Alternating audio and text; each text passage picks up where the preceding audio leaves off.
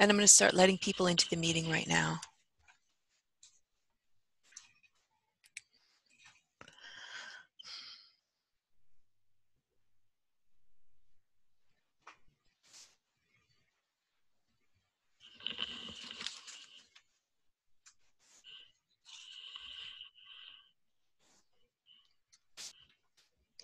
Welcome, everybody. We will begin the discussion in just a moment.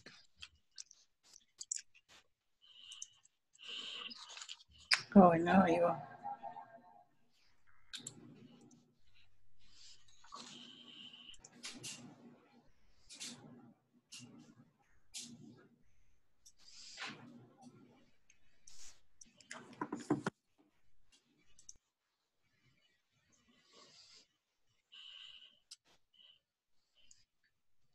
Welcome, everyone. We will begin in just a few minutes.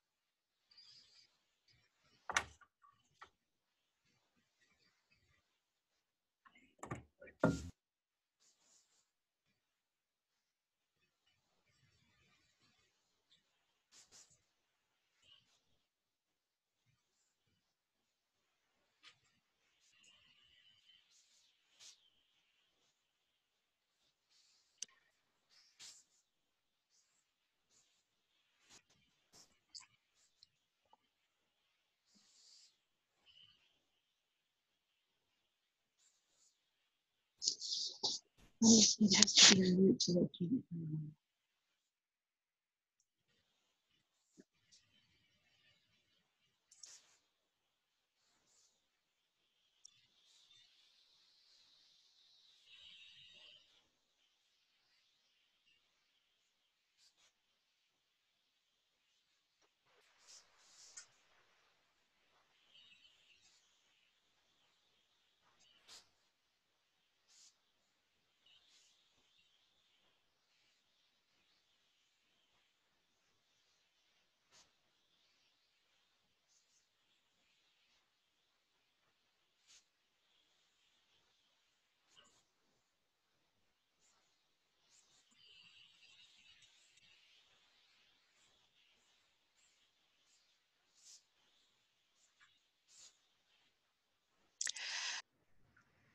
Good afternoon, everyone. My name is Colleen Stovall, and I'm the Director of Programs and Events for the Miami Center for Architecture and Design. I'd like to welcome you to the second in a series of roundtable discussions about urban redesign post-COVID. Just a little bit of light housekeeping before we begin. There's going to be a Q&A session at the end of this discussion, and um, if you could um, uh, write your questions using the chat, um, using the chat feature uh, at the bottom, uh, you know, the Zoom chat feature, and address it to everyone. And um, we'll get to your questions at the end. Please remember to keep yourselves muted and turn off your video, um, and that will help us with a better, um, a better bandwidth and better feed for the um, video. Um, this meeting will be recorded and will be available to view on the AIA Miami website and the MCAD website uh, after Monday, July 20th. Before we begin, I'd like to introduce Jason Hagopian, the Vice President of MCAD and a Principal with Tao Design Group. Jason? Hey, everybody. Thank you, Colleen. That's true. My name is Jason Hagopian. Uh, it's a pleasure to be uh, introducing and, and, giving a few little announcements today. Um, course, you are signed up to uh, for this urban redesign uh, session today, urban parks and public places. Uh, we just want to recognize the partnership we're having with the, Amer with the APA, the American Planning Association, for this series, uh, which includes topics such as cities, equity, parks and urban spaces, and mobility. Uh, some things that are happening uh, with MCAD. Uh, please keep your eye out for our book talks. Uh, we have one coming up on July 23rd at 7 p.m. Jose Gelabert Navia will be discussing his book. It should be an incredible session. So if you don't have the information or haven't been getting any of our blasts, please go to our website, mcad.org, uh, uh, and you can find all the information, uh, miamicad.org, excuse me, miamicad.org. Um, and if you're not getting our blasts every Wednesday, you should be. Every Wednesday, we send out a survival guide uh, with some helpful hints, some tongue in cheek, some useful information uh, to help you get through your week in this new uh, virtual world that we're living. Um, and also, very exciting, we have a, um, an online 3D oh my goodness, excuse me, an online 3D exhibit at miamicad.org, uh, space situations. It's really, really cool. Please go to our website and you'll see it. Click on it. You'll actually be transported virtually into our space downtown and you'll get to view our current exhibit. And it's fully immersible, 4K. It's, it's amazing. So please check it out. And just stay tuned. Uh, Urban Warriors is going to happen. It's just going to be an online, um, an online uh, event this year, and we will be releasing more information on that um, in the coming weeks. So stay tuned. So thank you, everybody. Uh, this should be an incredible session today. Thank you, Colleen. Look forward to seeing you all soon.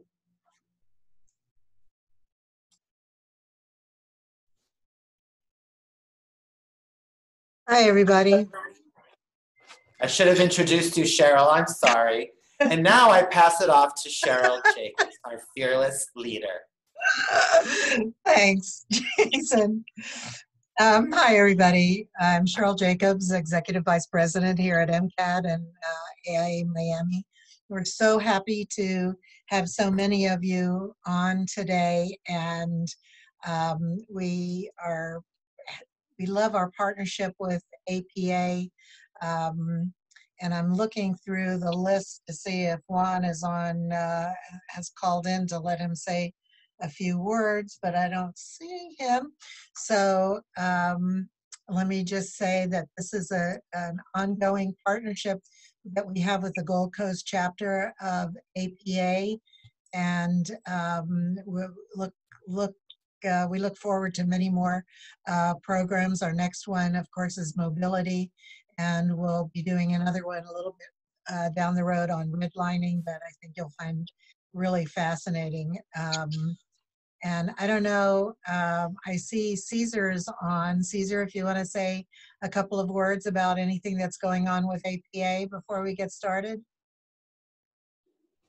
Um, sure. Thank you for participating. We've really enjoyed this relationship with Cheryl and the AIA. We're looking forward to doing more of it.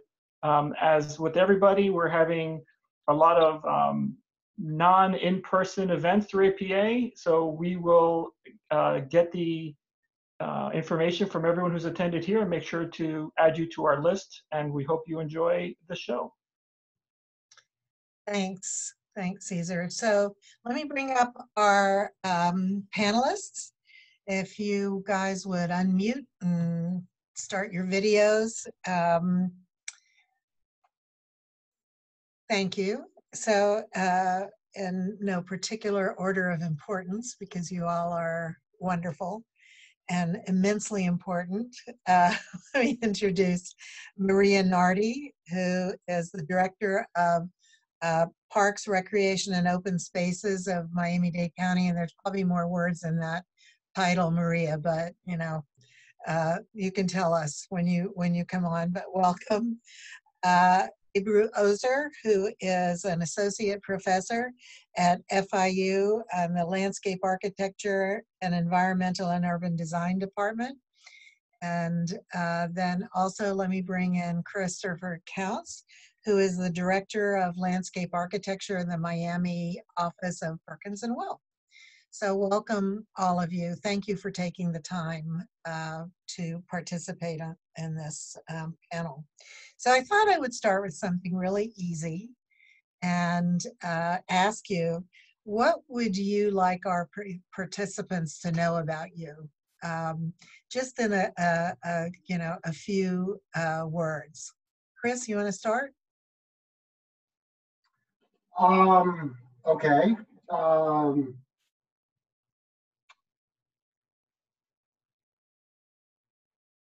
You're stuck. don't know what to say. Yeah, yeah, sorry. Okay. Um, uh, Just in general, I mean, I, I'm, I'm new. Uh, I've been down here about a year. I just joined Perkins and Will. My, uh, had my own office in, in Brooklyn for about 10 years and before that with Michael Van Valkenburgh. And a lot of my background and expertise, I guess, if you want to use that word, uh, is in uh, public space and um, urban parks.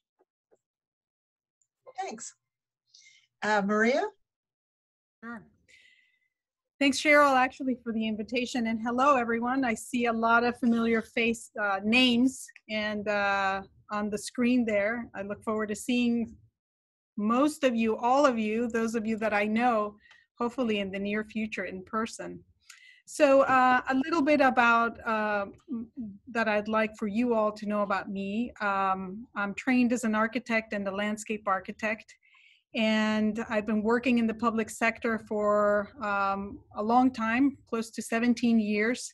And I really consider the public sector uh, still the frontier for having an impact in the health and transformational qualities that uh, architecture, landscape architecture, and urban design can have on a community. Um, I now lead the Parks Department, which is the third largest park system in the country and we're guided by a master plan that is really about bringing the entire 35 municipalities and the community together to implement a single vision about uh, transforming Miami-Dade County into something really extraordinary. And it goes beyond parks. It really looks at parks and public spaces and natural and cultural areas connecting them with greenways and blueways and designing our streets as linear parks. Um, from this vision, we've been able to implement much of what uh, you'll be seeing in, in the coming uh, years. And, um, you know, one of the things that I think uh, we're very fortunate is that we're being, we're engaging a lot of community leaders to really uh, take pieces of that and implement them. So we've got 160 miles of a 500 mile of connectivity plan that's in the works, and there's so much more. So that is in a nutshell, in a quick nutshell. So, I, and also I'm glad to see that you called in from your office on the beach today. So, so that's, Yes, uh, this is one that's of one of uh, Miami-Dade County Parks is uh, manages uh, a lot of uh, parks. This is one of them, which is the longest linear park in all of the county, which is 17 miles of beaches from Government Cut to Broward County line. It's our longest linear park. that's great. Ebru? Hello, thanks so much for having me. Um, I am an associate professor in the Landscape Architecture and Environmental Urban Design program of, FIU. Um, I'm an architect. I practiced architecture in Istanbul five years prior to my landscape architecture education at LSU. And I am a PhD candidate in civil engineering. I would like to learn more about uh, stormwater management, which is focus of my research. Um, I am a co-principal of a landscape architecture design firm located in Coral Gables called Landscape DE with my partner Douglas Thompson. And I study uh, parks and green spaces and I do landscape performance analysis of public open spaces which included um, Soundscape Park, Lincoln Road Mall, and also Pampa Beach open space streetscape and restoration projects. Um, my partner and I design um, playgrounds specifically uh, for the Miami-Dade County Parks and Recreation and Open Space Department, and we uh, focused on creating nature-based playground designs during the last several years and closely work with Maria Nardi. So That's that's, great. And I, that's great. And thanks. And I, I, we pulled this panel together without know without me knowing that. So it's kind of an interesting, um, you know, synergy. And uh, you know, we as as big as our industry is, it's also very small.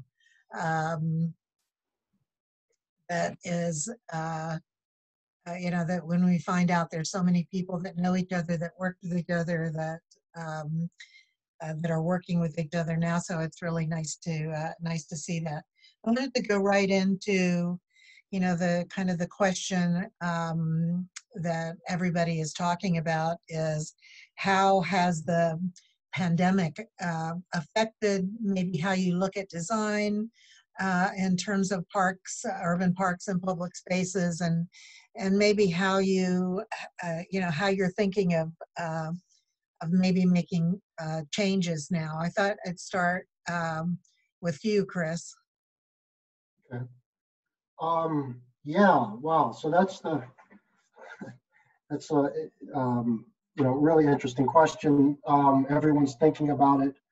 Um, how has it changed? Um, I, I think it's, I mean, for me, I, it, I think it, I see it as an opportunity uh, to leverage uh, this movement combined with all that we were wrestling with relative to climate change, um, and now other uh, you know other issues like Black Lives Matter and equity and all of these things kind of coming to better come coming together to coalesce to actually do what I think is very simple. It's almost like I think we need to be doing things that we probably already should have been doing, right? um, you know, there's obviously you know, the, the inequity for public space uh, is a challenge here. It's a challenge for um, kind of all cities, but this kind of crack, if you will, you know, started to look at repurposing, um, you know, city streets, for example, which we have the benefit of like the 1960s, all of our traffic engineers over engineered a lot of our cities. And that was kind of a movement that started before um, COVID, right? Especially in, uh, New York City started a bunch of that, and this kind of guerrilla infill. And I think that's kind of uh, kind of picking up on lessons learned from that. I think is important, and also to recognize that like we've got some real challenges. You know, our cities. We don't need to go down the list of, of how we can improve them, but you know, um, streets in particular interesting, and just kind of like looking at the math. It was 50 or 60 percent of most cities are streets and parking. You know, there's a lot of a lot of ideas.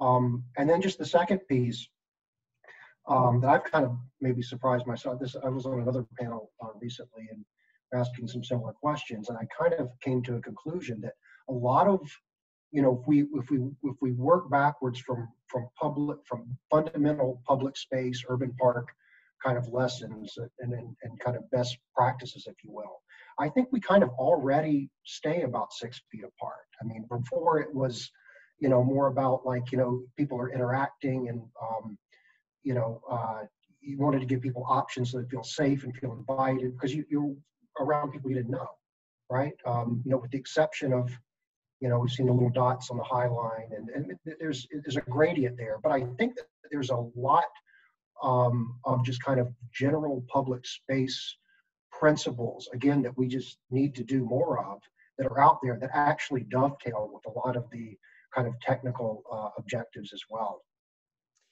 Yeah, you know, and in terms of public spaces, um, our sidewalks and streets are public spaces. You know, we don't necessarily think of that in terms of how we design. And uh, well, not the designers, but the uh, a lot of the electeds don't think of their cities that every place is a public space. Um, but Ebru, you want to comment on the uh, changes maybe of how you're looking at things?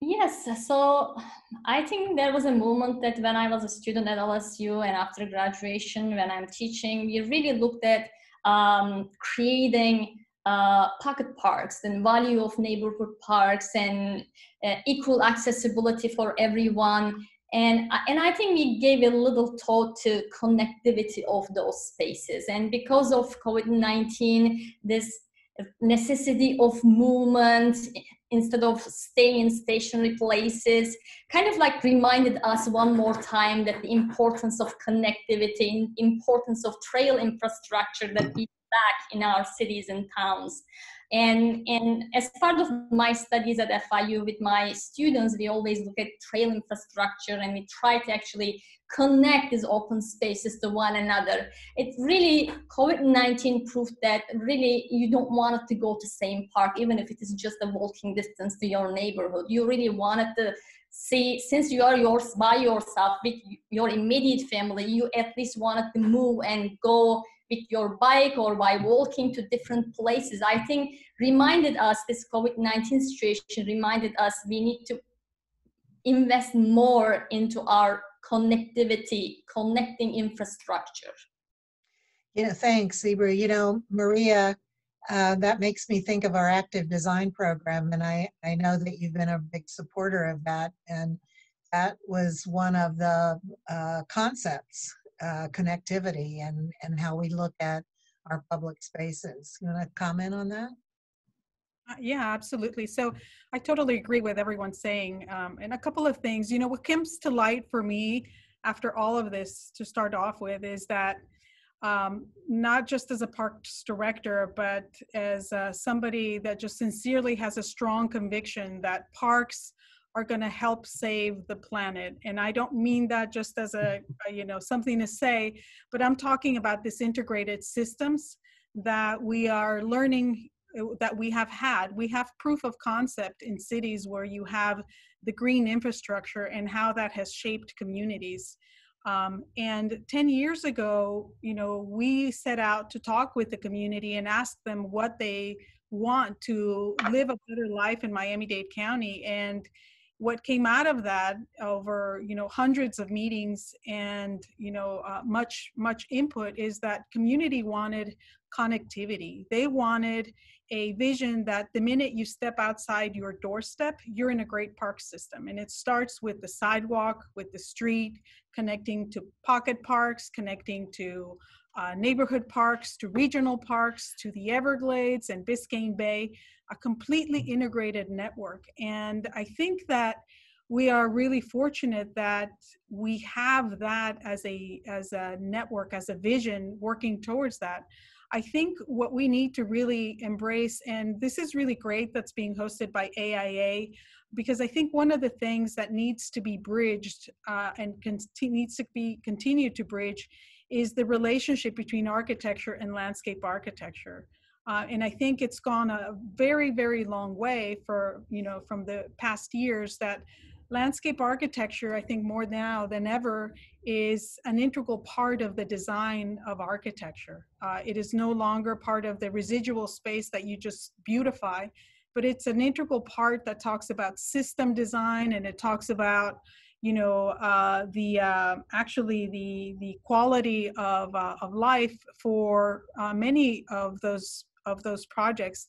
In housing projects, I don't think it's any surprise when we see the advertisement of not the actual building itself, but people walking in a green space. I mean, that is what's drawing people into those environments. So I think that that is something that's really important. Uh, I think active design is an integral part of that that everything that we design, much like in architecture, we think about the what typically is the back of house of, of, a, of a project in terms of a stairwell for a public building becomes the center part of of, of the design, something to be celebrated.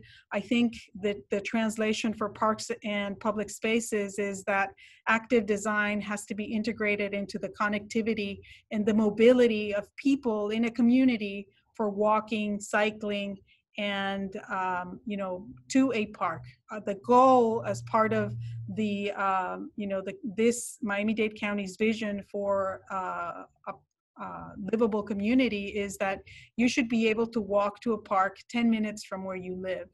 So the acquisition of land and then the subsequent uh, ability to build on that, I think is critical for us to really um, realize uh, sustainability and walkability and active design and the transformation of this community through parks. Yeah, thanks. Chris, I saw you nodding. or were you just Oh, I- kind of rocking in your chair? No, well, kind of both, but um, uh, I, I couldn't agree more. Absolutely. Um, um, I mean, it's just kind of funny, and, and I, I really appreciate where you, you bring up the, you know, especially me uh, working in an architecture company. That you know, this relationship between architecture and landscape architecture is really something that we need to talk about. And um, we have a different skill set. We have a different. Um, the medium is different. We have a different craft um, and uh, it does things different than architecture. You know, I, I think it's so interesting that, um, you know, if we think about, okay, so what's happening with the pandemics? Well, we're realizing that, um, you know, within within buildings, um, we do have some challenges with, with, with, with, social distancing, distancing and stuff.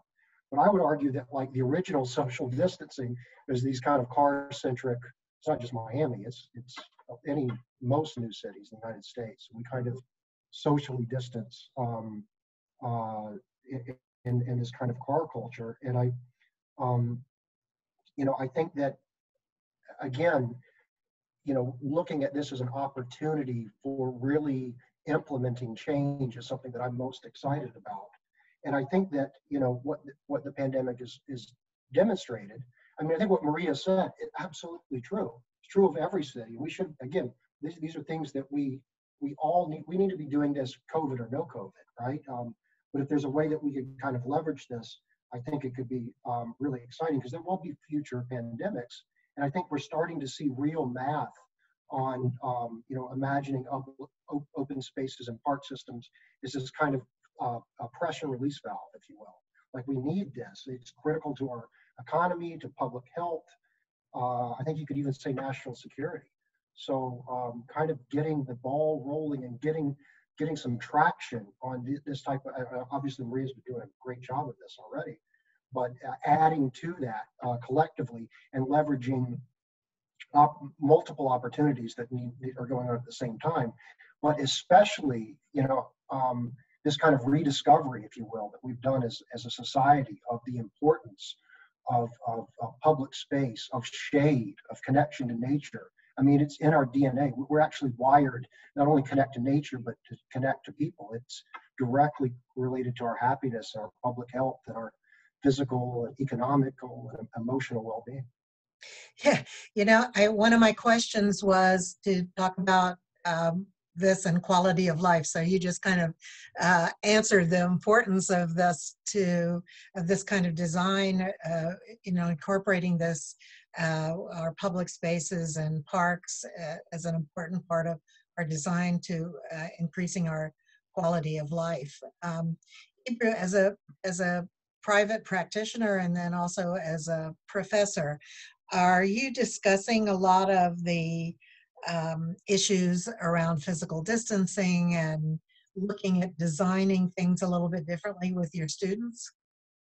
We will. Uh, it just came about the time that we were about to finish the semester last spring, and our fall semester in design studios will start in August. But among our colleagues, we already started having some discussions related to that. Um, for a number of years, we actually told our students how you can actually create seating arrangement that brings people together. So we really tried and forced how you can create gathering space that attracts people. So now we need to think a little different. We need to think about flexibility of use. We need to think about how we can actually, uh, if needed, there is an alternative use for these big spaces. There is a possibility of division. And in, in the academic world, we need to focus on these kind of like maybe flexible elements, maybe movable elements, maybe thinking about giving wider spaces but not in expense of you know uh, losing some our green spaces and hurting our nature in terms of stormwater infiltration. So how we are gonna uh, discuss these challenges and, and find solutions in the studio i'm very excited and curious to see when our fall semester starts. In our practice also we started thinking about how we can design incorporate what would we do uh, if covid happened before we did this project. So we had some back and forth conversations with my partner too, and and we realized that um, as I mentioned at the beginning, we have been designing nature-based playgrounds for the Miami-Dade County, and and nature is a place for you to explore. Nature is a place for you to stay maybe by yourself maybe it is something that engages you while you are alone so having this opportunity to children uh, giving them things other than this sculptural playground elements in the um, in the playground sculptural structures in this playground but having them different opportunities to explore in the site um, perfectly aligns with the necessities of covid-19 you know uh, and maria um, we kind of talked about this privately before but i uh, I'm wondering if you're looking at the master plan and seeing areas or ideas or concepts that you need to tweak based on now what's happening. Yeah. You know, I, I in general, I think that there's always room for improvement. Uh, I think the master plan, in terms of its vision, I'm I'm really confident that you know, we've developed a plan that reflects a shared vision for the community. I think the execution of those different pieces allows for the uh, adaptation to what we need. And in terms of, for example, if I was to look at a park now in response to some of the questions in the chat uh, room there, you know, in response to, if I was to look at a park, I think one of the things that I would look at in terms of uh, the design, like Ebru, uh, you know, mentioned, is look at capacity issues and access issues to uh, certain locations. So the ability to control number of people that go into a park becomes more critical than ever. And even pre-COVID, I think those are issues that are challenging when you when you're managing a park. Now, being on this end of you know the other side of design you know uh, did design on the other side in terms of um, management that's one of the challenges as well. And i think with covid in mind designing gateways entry spaces that allow the flexibility of a beautiful entrance while also being a measure of guiding uh, traffics whether it be patterns on a on a uh, the asphalt or patterns of access, ingress, and egress, I think are going to be increasingly important to how we understand um, large spaces. So, in a case like this, there's clear delineation of where you come in and where you exit, and the ability to control enclosed spaces of, um, of uh, and, and modify number of people that use them. So I'm thinking of a concert space, a large amphitheater,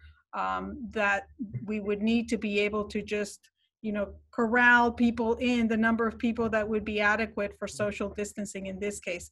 I do think that these these elements are long lasting but what i think is interesting is that these are things that uh, you know many of us have been working on for uh, quite some time. And i i think that that is actually um, uh, a natural uh, happening because uh, the nature of parks is that you're outdoor, you're in the safest place where you could be, you know, together and alone at the same time. So, you know, I think it's a continuum for landscape architecture. And um, for that, I think the development of how we think about streets as linear parks is something that has been happening for hundreds of years and we've got phenomenal models for it. I think it's now making that translation to here, um, you know, to Miami-Dade County, to other places in the country where we can have those adaptations of, uh, you know, uh, linear parks in our community. Yeah, and also, I just wanted to let everybody know that we'll stop and uh, soon uh, because we have some really great questions in the chat and we're going to uh, bring those uh, to you guys in, in just a few minutes.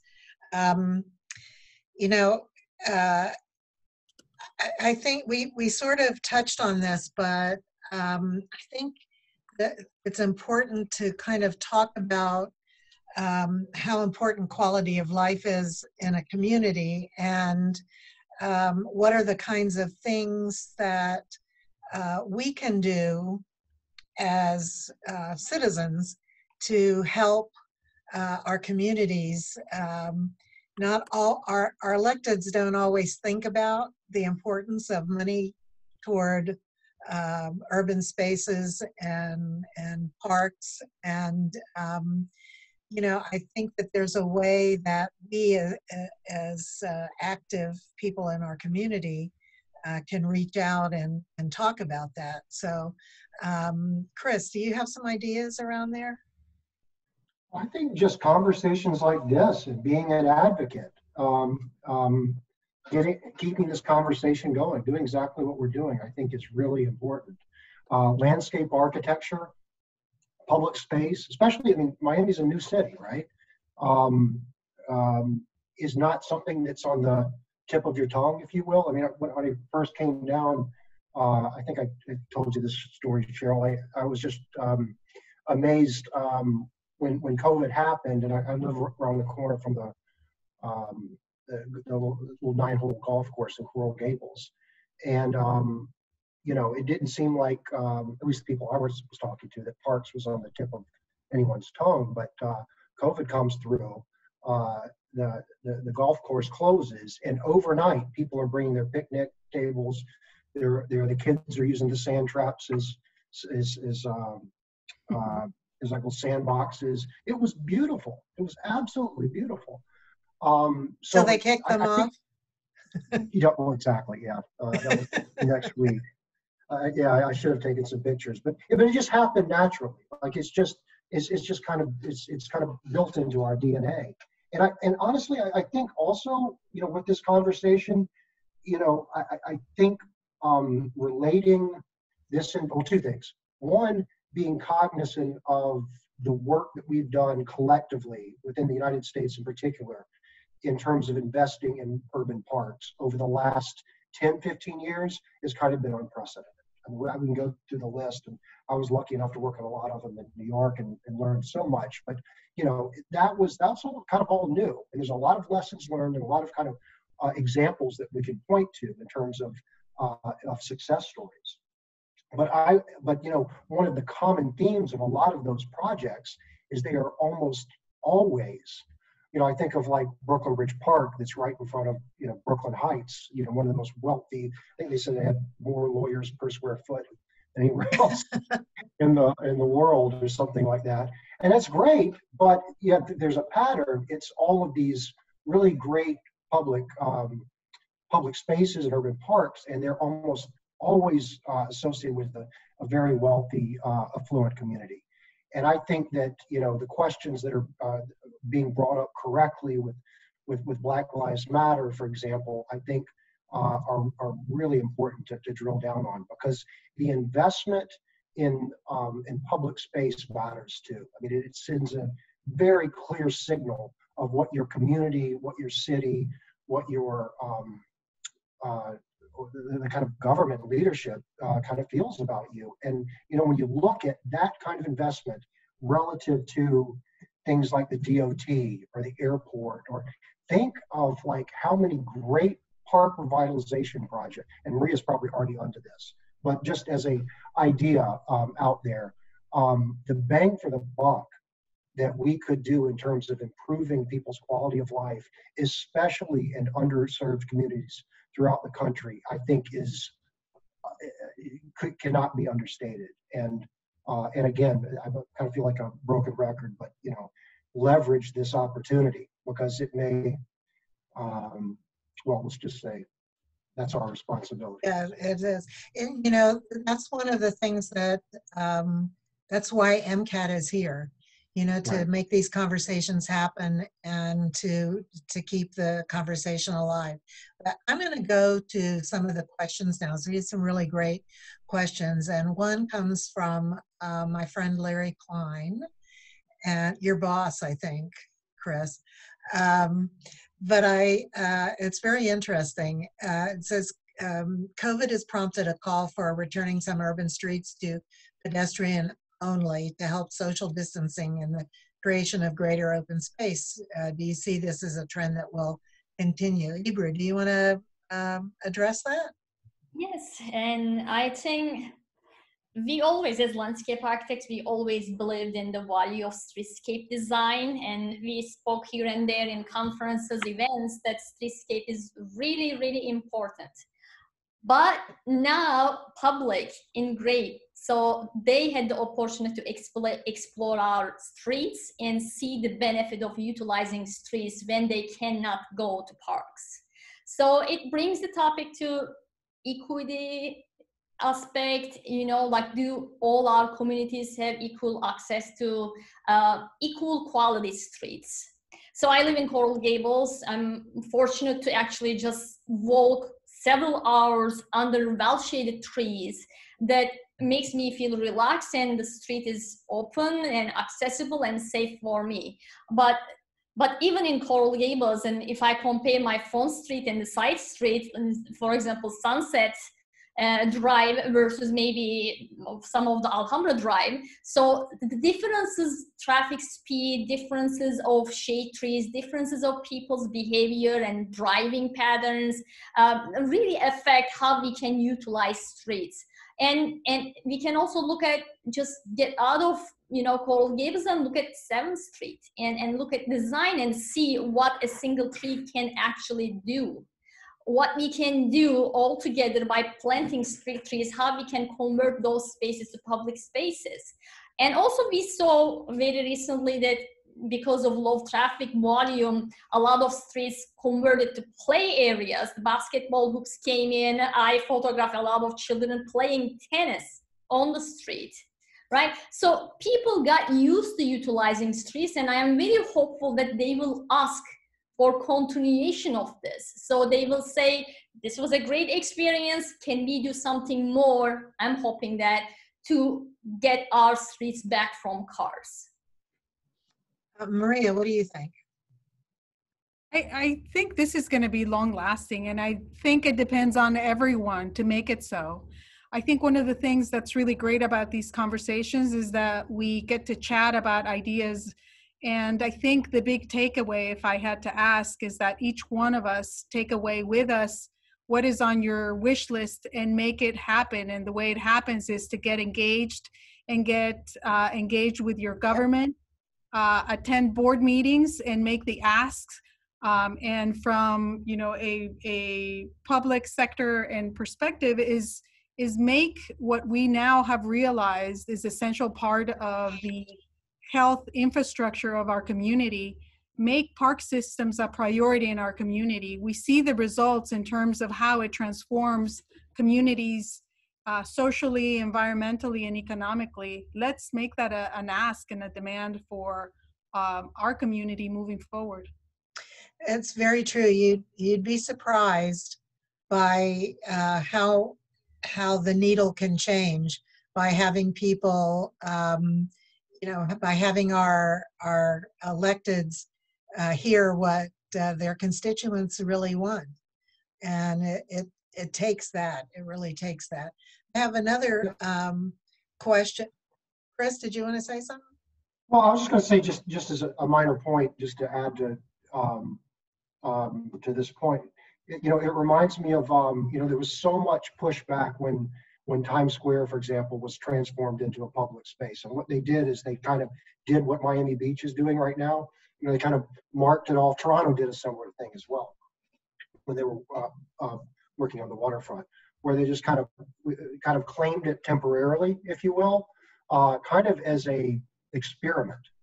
And you know, two or three weeks went later went by, and everyone was fine, and it became permanent. Mean, that, they came in and they paved it. It became so. This kind of taking notice of all of that, um, I think, is really you know kind of factoring into that that mentality. Like, like guys, we can.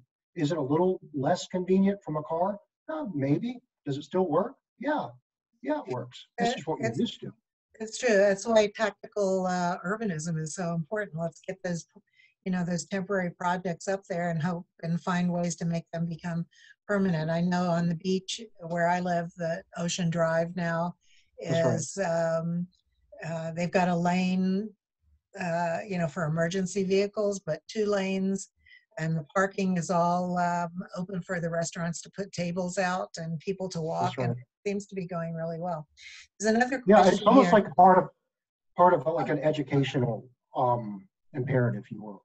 Yeah, it's true. Yeah. Um, so another question is many uh, projects emphasize the flexibility of a space and the role that plays in a community, but many projects take a long time before they're finished construction. So how long do you think parks and open spaces will take to adapt to current and post post-pandemic life? And um, uh, one of one of them is you can answer that by how quick Miami Beach turned Ocean Drive into uh, a public, uh, you know, a, a street that uh, allows uh, pedestrians. So, I don't know, Maria, do you want to respond to that? Yeah, absolutely. So I, I think it can happen. Um, there's there's both immediate responses and then the long term responses. I think there will always be an immediate response, and I think you know I would challenge us to think also not just in terms of design, but in terms of managing within the existing infrastructure of what we have. And I think there's some tactical solutions to that that have been put in place. How you manage traffic, how you manage you know different aspects of the park and in parks that are very small where you need to accommodate more people. Parking lots are being transformed into these plazas as we've known and learned for many years forever from cities how they have that dual use. So in terms of of uh, of, of um, you know the immediacy of those solutions they can happen quickly. I think once again by nature of what parks are you know the covid solution i don't think is is a one time solution. I think it's an ongoing aspect and a natural occurrence in art landscape architecture right? Open spaces uh, the way we travel through them. I think from a design perspective they're actually in my mind without uh, you know the the large projects that need to be implemented they are about clarifying ingress and egress um, with the existing infrastructure. And I think those are things that can happen very quickly. On new and larger projects, I think it's taking those things into consideration. And probably one of the biggest challenges um, with right now, not just related to COVID, but also with climate change, is materiality and the type of materials that we use and how long lasting they are. And then add to another layer of how actually um, you know how can we start thinking and using materials that you know are easy to clean or have properties in them that are uh, help with bacteria that are less porous and therefore easier to clean and don't sustain that. So i think the changes can happen quickly. I think there are changes that will take longer um, but i think they're more systemic in the way we think about public space rather than the actual projects and implementations that happen in landscape architecture. So thanks, Maria. So there, um, I just wanted to let everybody know there are more questions that we're than we're we will have time for, but we're going to uh, take these questions. We're going to send them to our panelists and ask them if they would take a minute to answer some of them, and then we can distribute that to to um, everyone. Um, you didn't know you were going to have homework panelists, but uh, we'll uh, we'll be kind when we send that. Um, so here's another interesting question: How do you think we can tackle the integration of architecture and landscape architecture on a deep level outside the interdisciplinary firms? How does the path toward that look like? And I think the word is collaboration that we need a little bit more. Um, Ebru, you want to address that? Yes, um, as I mentioned, I had training in both, and I would say that I don't see a lot of difference. So we learn how to design, and we learn how to design spaces. So I think the opportunity missed is just bringing these people together to collaborate from the very beginning. So I did not work with too many landscape architects when I was doing my architecture practice. And, and as soon as I studied, started studying landscape architecture and realized that we tackle similar issues, although we look at different parts of the problem and system thinking, we tackle same issue of design and how we can do these spaces usable for human use, uh, for environment, how we can do design. Um, so I think, as you point out at the beginning of your question, is just collaboration is the key aspect. And I think I'm proud of my institution, FIU, doing this beautifully.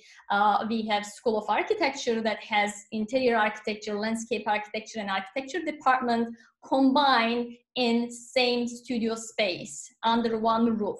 So our students doing vertical studios working together, when they graduate, they will know exactly who to work with, how to work with, how to interact with other disciplines. And I think um, they are getting this collaboration perspective from the core, from the very beginning of their design education. As, as educators, we are participating in each other's design reviews. Uh, we are functioning as School of Architecture, so we are really uh, pushing for this collaboration uh, aspect of design uh, at FIU. So That's great. Um, we have another question from um, Victor Dover. Hi, Victor.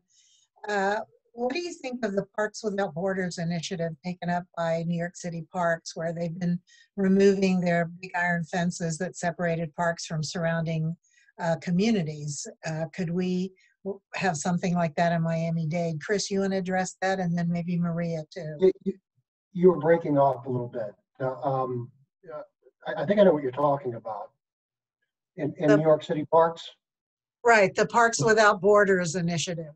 Oh, right, right, right. Um, uh, I don't love it personally. Um, I, I get the idea, but um, I think that, um, uh, and, I, and this is a case by case basis, but the projects that I know about, I have some friends that work for the New York City Parks Department, for example, and, and I, I, I, I- so I know a couple of examples that I, I, I wouldn't have done it for that. I mean, philosophically, does it make sense? Yes, right. But there's also something really nice. I think even Maria was mentioning, like when you enter an amphitheater or take Central Park, for example, it has a perimeter around the edge, right? Um, but it, it frames basic entrances, right? They kind of formalize it. It kind of recognizes the space as civic and important. And um, um, I, I think that there's, but at the same time, you can jump over it. It's not a, it's not keeping people out. It's three or four feet tall. But there's something to that, the kind of psychological effect and the kind of framing of space and being special, as opposed to like some, um, like I think of some of the parks in, in, in Chicago, for example, which, which are were really part of kind of a green network system that's just kind of grass and lawn, uh, which is great, right? Uh, but it certainly didn't feel dignified or it didn't feel, um, it didn't feel civic, you will. So I, maybe I'm getting a little too detailed with that question. Um, but, I- but I, but I think there is something to have framing these spaces um, spatially and um, um, You know- kind of experientially. Well, you know, maybe that uh, there's a difference between the big, sometimes the big iron fences that go around something and a wall that that is not so high. Maria, do you have a um, something you no, want to I- add to? I um I agree with Chris. I mean, I think that uh, you know in New York, given the density of the city and the many parks that have the fencing, I think uh, Parks Without Borders is is uh, an important message in that community. You know, there are so many parks so close to each other, all fenced with iron uh, fence that are at least six feet tall. Um, for us, fences in Miami-Dade County are about three feet tall, two two wood rail fence. While you know the aesthetics of it, I would you know as as we grow in the system, I'd love you know uh, those coral rock gateways and to really um, celebrate the threshold, right? Celebrate the civic aspect of entering a park while also maybe substituting some of that with plantings. Um, for our parks in Miami-Dade County, they are so large. We're talking about 270 acres. Let- Let's let's look at one of our most urban uh, parks. Um, you know, in Tropical Park, it's a 275 acre park. So the perimeter is delineated with the two rail fence, which doesn't really keep people out because you can, you know, cross the over. But it, it delineates the boundaries of the park so that we don't have people just uh, you know driving in and driving through with on the grass and you know it's a it's a it's a way of uh, delineating and emphasizing this is park land as almost like a branding like a ribbon branding the park. Um, but I think if if we were to have parks with large fences that sent the message uh, "stay out" rather than come in, I would definitely consider that. Yeah, important. Absolutely. Yeah, um, and, and it's true because uh, it's so much more pedestrian there than uh, than with cars the way we are here. That uh, I could just see people driving their cars into spaces that they weren't supposed to. Um, Also, oh, go ahead, Ebru. I think it is related to cities infrastructure, how our cities in US made uh, in terms of width of the streets, where the edge of the park ends, is there a sidewalk next to the fence? Uh, You know, how we've configured and designed our cities really affect the answer of this question. When I take my daughter to Turkey in summers, none of our parks have fences around them and it was her first reaction that why these parks do not have fences around them. And people around living around the parks they drive really carefully when they close the park. So it's related to people's habit. In here we are actually loading this this uh, giving this responsibility to the fence people people behavior uh, is being limited by the fence. We should take our own responsibility and we should drive carefully next to our parks. So that would show that parks without borders would work in Miami. But it is not going to work with the numbers that excellent numbers that we are seeing here, with the numbers of uh, crashes and, and driver habits and street infrastructure. That's true. Uh, You know, it's interesting how more people are biking now and walking. And I think part of that is due to the fact that so many of the gyms are closed for so long. But I live on the Venetian, and every day when I come to work or go home, there's so much bike traffic and walking traffic, but bike traffic that I don't think I ever get more than 20 miles per hour because, you know, you have to have your head on a swivel so we need we need more protected bike lanes. So that's a that's a whole other uh, co- uh, conversation. But Venetian, Uh, is so- Venetian is part of our park system along with Rickenbacker Causeway. So we are working to turn those into parkways rather than causeways. uh, that would be Hmm. really great. Hmm. Um, so uh, we have, we only have like four minutes left, and normally I end with a, a final thought. There's a question here that I think would we could incorporate into your final thought that I think is really interesting. And it's in regards to the Black Lives Matter, how do parks and open spaces play a role in our communities to allow for protests? How would you incorporate social distancing in spaces that are intentionally meant to support gatherings? I think that's an interesting uh, way to kind of close our discussion. And uh, Chris, you want to address that? Yeah, that's, it's interesting, it's uh, emphasizing the, the, the kind of the town square, if you will, or the, or the public plaza. Um, within Miami, we have like a different kind of set of typologies, if you will, um, in, in a new city like this. But I think it's interesting, I mean, for me, uh, you know, maybe it's a little too geeky to, to talk about scale and, and proportion or whatnot, but, you know, um, and maybe I'm making too many references to New York City, but that's where I'm, that's where my life has been. and a great place to learn. Quite all right. but but um but like I, I think of like 9-11 and i think of like the south end of union square park. I don't know if you guys are familiar with that but that is like really ground zero for all of the um it's where a lot of the, the kind of marches start and where they end. Um that's where the kind of memorial right there at 14th street was set up. Um and it's just really shot, uh, surprising if you will um to look at how big that space is it's not that big uh, Rockefeller Center is not that big. Um, Miami actually is not that big. I think that's a real positive thing, you know, like in from terms of land and geography. So uh, what is what the reason I bring that up is I think it's encouraging. I think that there, I mean, that could be a project that uh, reimagines a parking lot, for example, um, and and kind of looking at other, you know, Trafalgar Square, like some of the other kind of international kind of plaza spaces, and kind of overlaying those on communities, and and oftentimes uh, you'll find um, you know where that should go kind of grows out of its context. And the answer is kind of already there. It's just there was never the political will or the or the or the funding or um, all of these sorts of things. So this kind of goes back to my um, optimism about uh, the opportunities we have here. Um, because, uh, you know, especially, you know, as Maria was saying, like the landscape materials, they don't have to be expensive. I mean, there's really cool, interesting, innovative ways to reimagine some of these spaces and kind of create that. I mean, it could be a parking lot.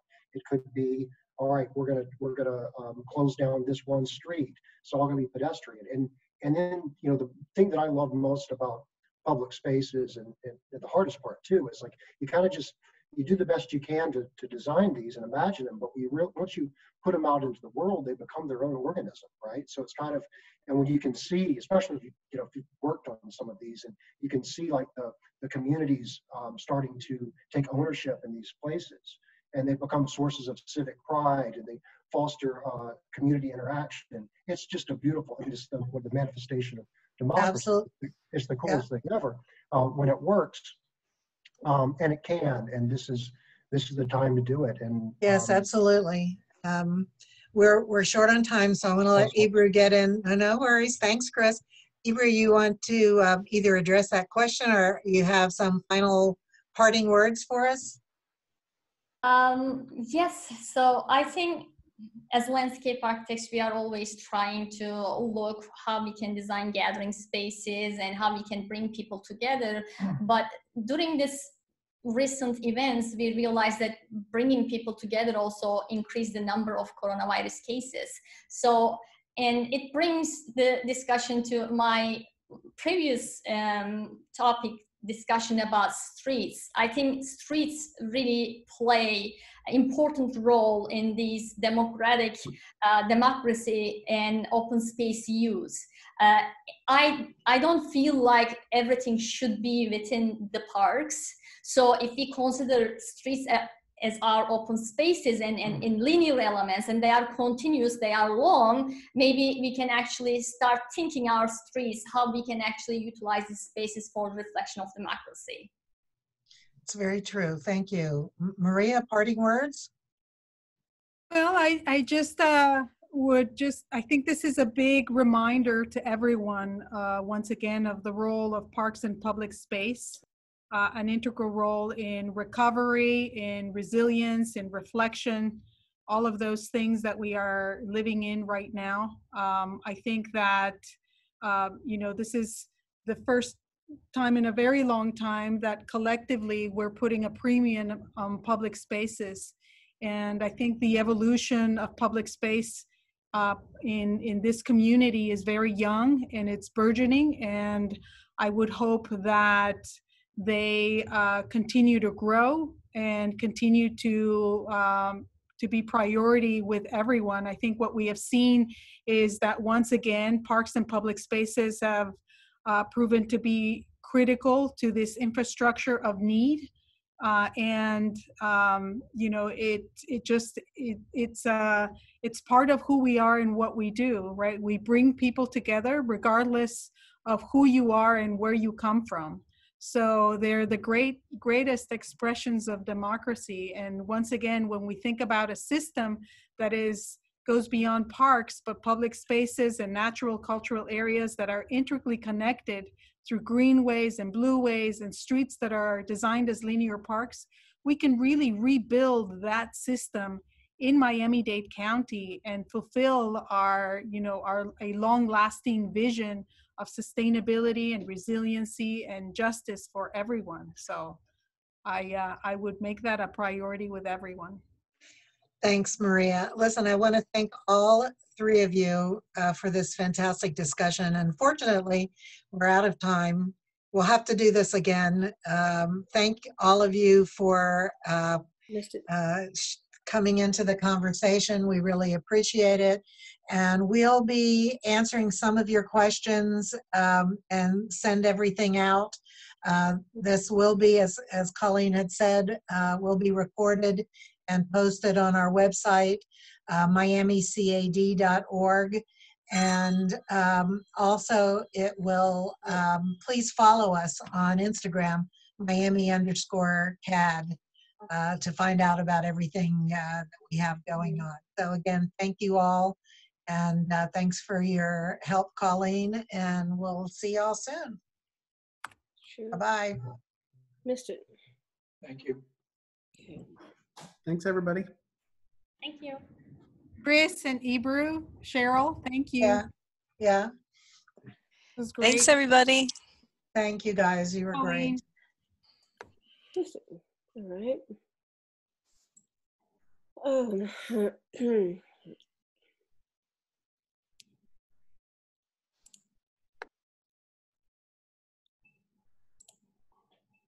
okay.